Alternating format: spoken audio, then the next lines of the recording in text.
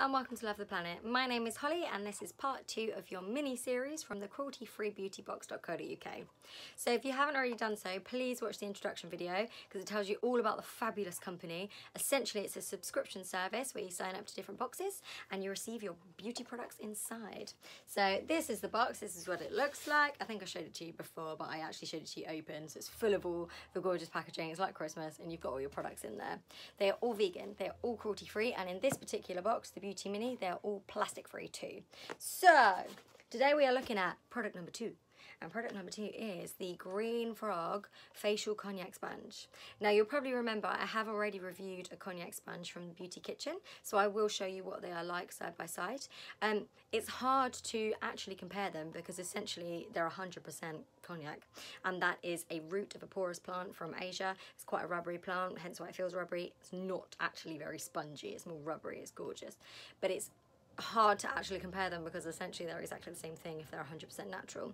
The differences, however, are things like string length. So this is the one from Green Frog and this is the one from Beauty Kitchen.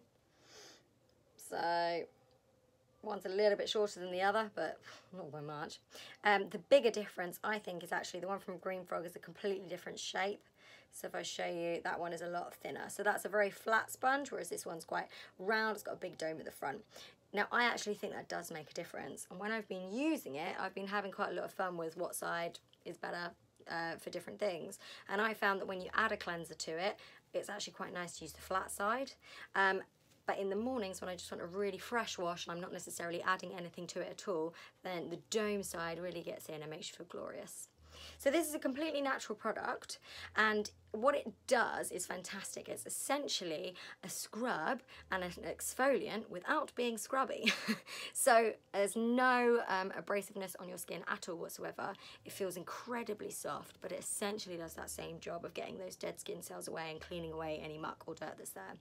Now you are left with a really gorgeous feeling. I was kind of like, what? was it gonna do? Um, but straight away, my skin was brighter, um, clearer, uh, after a couple of days if I had any kind of uh, blemishes or anything like that. It healed them really quickly. Um, but also it feels a little bit tighter, it feels fresher, uh, particularly in the mornings when you don't necessarily want to use any products on them because it's always good to keep your natural oils too. It's lovely to go over your face, wakes you right up and you instantly feel refreshed and brighter and you look that way too. So, I mean, straight away, I think these are great. I think it's a really wonderful product. Now, I did try and remove my makeup with it. Um, so I put some of my Lush 9 to 5 on here, um, rubbed it into my eye. It didn't work. so it doesn't take makeup off. Um, what it does is it washes your face, refreshes it, makes it cleaner, makes it brighter.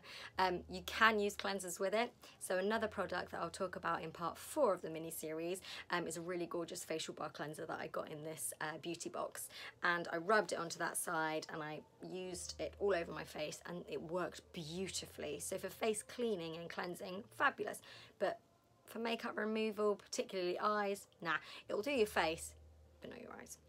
So, gorgeous, gorgeous product to be honest. I mean, really similar prices. Uh, these are available online at around £7. Um, and the cruelty-free, uh, the Beauty Kitchen one is exactly the same. So they're roughly, they all range from about six to 750. Um, and the main difference you're really getting is just the shape. So I can't really declare a winner, although I think I prefer the dome for the mornings when I don't use any product on it at all. Um, it's incredibly clever, this kind of exfoliation without any kind of scrub or grain at all whatsoever. It's really soft and it has made a difference. I've used this for a week and I already feel like my skin is a little bit smoother and softer. Um, I'm really enjoying it. It's now my new morning thing. Um, and it is, I didn't think anything would take over. My little, I had a little uh, bar from Lush, the Movis one, which I'll also um, review. And I didn't think anything would, you know, would take over my morning Movis bar. Um, this has, I prefer it. It's really nice and I love how it's totally natural. So give it a go if you can. That is available in the cruelty-free beautybox.co.uk. It's also on their website if you wanted to buy it separately.